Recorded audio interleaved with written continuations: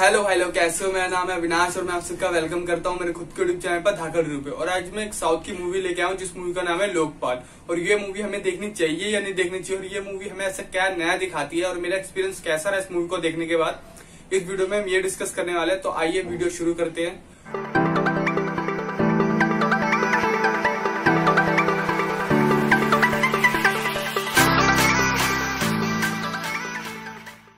और ये मूवी थी 2013 में। और इस मूवी का जॉनर है थ्रिलर ड्रामा और वर्ल्ड सिनेमा और इस मूवी की एमडीवी रेटिंग है 2.9 आउट ऑफ़ 10 और गूगल यूज़र ने इसे 53 परसेंट का स्कोर दिया। अगर इस मूवी की रेटिंग पे जाए ना तो भाई इस मूवी की रेटिंग कुछ खास नहीं है।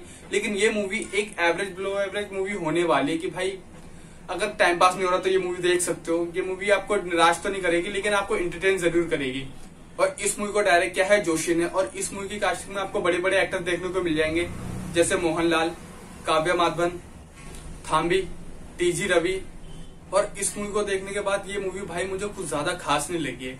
ये मूवी आपको इम्प्रेस तो नहीं करते, लेकिन ये मूवी आपको बोर भी नहीं करेगी, क्योंकि इस मूवी में आपको मोहनलाल का कैरेक्टर देखने को मिलेगा, एक तरह से नया अवतार देखने को मिलेगा इस मूवी में। और इस मूवी के अगर कॉन्सेप्ट के बारे में बात करें ना तो ये मूवी रिलेटेड लगी है मुझे अपरिचित मूवी से, क्योंकि उस मूवी में भी एक साइड होती है और इस मूवी में भी एक लोकपाल नाम की साइड है, जिसमें भी जितने भी लोग करप्ट है ना, उसके खिलाफ लोग शिकायत दर्ज करते हैं इस साइड पे।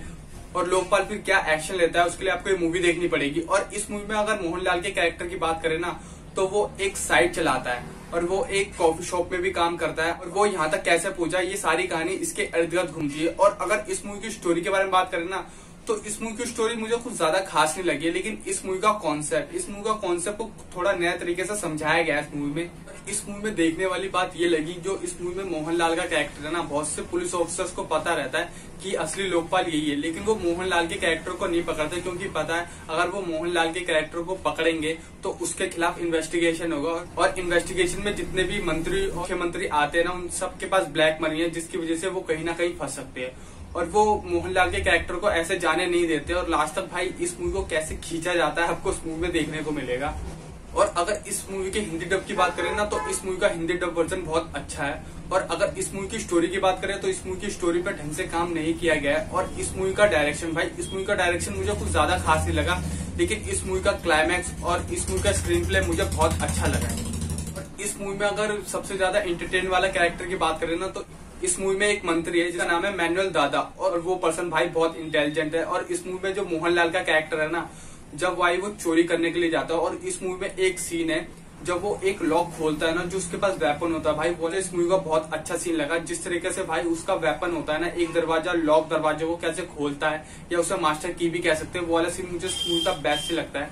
और जब वो चोरी करके अंदर जाता है ना उस तिजोरी में तो वहाँ पे जो मैनुअल दादा का एक वहाँ पे पर्चा होता है कि हेलो लोकपाल मुझे पता है कि यहाँ पे पैसे नहीं है और ये चिट्ठी तुम्हारे लिए रखी है मैंने और ऐसी चिट्ठी तुम्हें आगे भी मिलने वाली है। अगर तुम, अगर तुम मेरे पैसे पे जल्दी से भी नज़र मारोगे और भाई इस मूवी में वो कैरेक्टर मुझे बहुत अच्छा लगा है। अगर इस मूवी में मोहनलाल के कैरेक्टर की बात करूँ तो, तो इस मूवी में जो मोहनलाल का कैरेक्टर है उसको ढंग से एक्सप्लेन नहीं किया गया है। उसकी थोड़ी सी स्टोरी दिखाई गई है। और अगर उसके लव इंटरेस्ट के बारे में बात करें तो एक लड़की उससे प्यार करती है जो उसे छोड़ के चली जाती है। मतलब मोहनलाल उस लड़की को छोड़ देता है और उसको छोड़ने की क्या वजह होती है इस मूवी में वो भी ढंग से नहीं डिफाइन किया गया है। और अगर इस मूवी की स्टोरी पे आए ना तो इस मूवी में कुछ करप्ट नेता है, जो एमबीबीएस के एग्ज़ाम है ना, उसको लीक करवाते हैं। जितने भी अमीर लोग के बच्चे होते हैं, जो डॉक्टर बनना चाहते हैं, उनको कैसे पेपर लीक करवा के उनके हाथ में पेपर दिया जाता है। और जब लोकपाल को पता चलता है ना तो वो इसके खिलाफ क्या एक्शन लेता है, आपको इस मूवी में देखने को मिलेगा। और इस मूवी में एक लोकपाल नाम की साइड है, जिसको खुद मोहनलाल चला रहे हैं। उस साइड पे ना जितने भी बड़े बड़े नेता अधिकारी पुलिस ऑफिसर होते हैं ना, जो भी करप्ट होते हैं, उसको एक्सपोज किया जाता है। और इसी वजह से कुछ तीन चार लोग होते हैं जिनको एक्सपोज किया जाना होता है, लेकिन वो लोग क्या कदम उठाते हैं, लोकपाल मतलब मोहनलाल के कैरेक्टर के लिए, उसको मारने के लिए, आपको इस मूवी में देखने को मिलेगा। और इस मूवी में आपको एक अलग सा थ्रिल देखने को मिलेगा, और मोहनलाल की जो गजब सी एक्टिंग है ना, आपको इस मूवी में देखने को मिलेगी।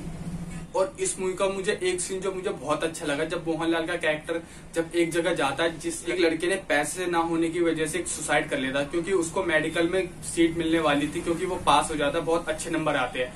लेकिन उसके पास पैसा ना होने की वजह से ना वो मेडिकल की सीट नहीं खरीद पाता, और जिसकी वजह से वो सुसाइड कर लेता है। और भाई, वो सुसाइड के लिए जब वो फांसी लगा रहा होता है ना तो वो तो वहाँ पे वो स्टूल नहीं लेता, वहाँ पे वो कुछ किताब देता है ऊपर चढ़ने के लिए। तो भाई, इस मूवी का मुझे ये सीन बहुत अलग और यूनिक लगा। और ये मूवी एक बार तो आप चेकआउट कर सकते हो। अगर आपके पास मूवी देखने के लिए कुछ नहीं कि आपको मूवी इंटरटेन करेगी, और इस मूवी का लिंक मैं नीचे डिस्क्रिप्शन में दे दूँगा। और ये मूवी आप अपनी फैमिली के साथ देख सकते हो। इस मूवी में कोई गाली ग्लोज, कोई एडल्ट सीन नहीं है।